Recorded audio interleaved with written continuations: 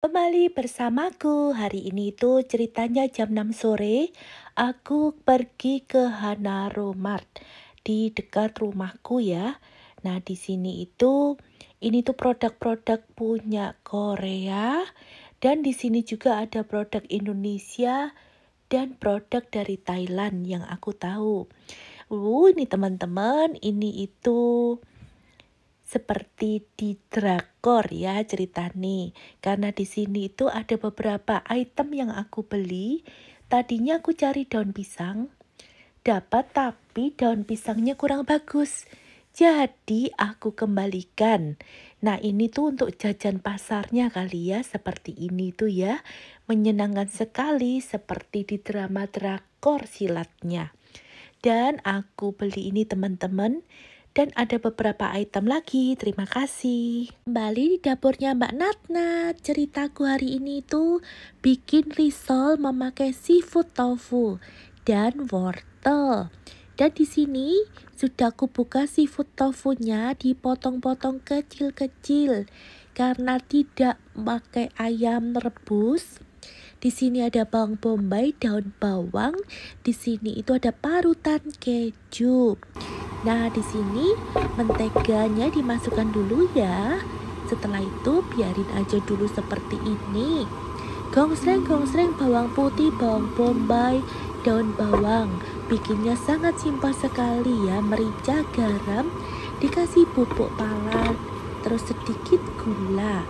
Dan di sini tuh digongsreng terus dimasukkan susu cair dan nantinya jangan lupa dikasih pengental maizena. Aku masukkan parutan keju, biur-biur seperti ini. Jadi biar ada rasa nih. Bikin yang sederhana, risol-risol. Dan ini itu untuk bikin kulitnya ya. Jadi aku ini tuh full memakai susu. Cerita nih, ada tepitanya mumpung rajin sekalian bikin risol dan bikin pastel goreng. Nah teman-teman ini itu pastel gorengnya ini itu isinya aku bedakan ya. Ini tuh ayam rogut dan telur ayam. Telur rebus maksudnya. Ini tuh digorengnya seperti ini karena aku nggak pakai minyaknya itu banyak-banyak jadi nanti hasilnya bisa cantik. Nah untuk pastel ini kulitnya ini aku coba ditambah dengan parutan keju. Jadi biar rasanya itu hmm, silakan dicoba. Untuk isinya seperti ini juga boleh ya. Tadi kan aku bikin isinya risol dari ini ya teman-teman dari seafood tofu dan dikasih keju. Ini juga, juga boleh dimasukkan untuk isinya pastel atau isinya risol. Terima kasih. Sampai lupa video ini pernah aku unggah apa belum ya? Ceritanya pada waktu aku bikin lumpia basah.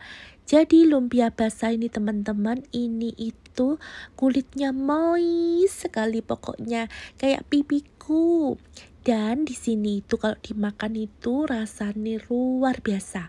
Mau pakai rebung, mau pakai wortel, pakai ayam, pakai jamur, pakai pakai sosis juga enak.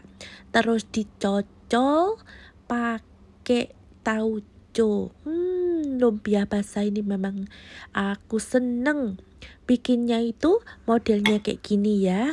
Jadi aku tuh memakai santan. Biasanya kalau risol memakai susu sapi